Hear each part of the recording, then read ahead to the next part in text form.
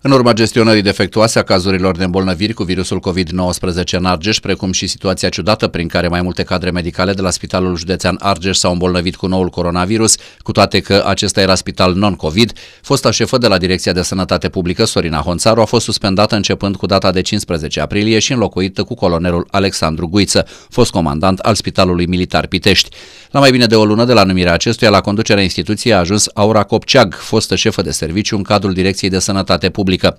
Acest lucru s-a întâmplat pentru că fosta directoare nu a mai putut să se întoarcă pe post din cauza că a primit ordin de detașare la Galați, acolo unde, începând cu data de 20 mai, ocupă funcția de director executiv în cadrul DSP Galați.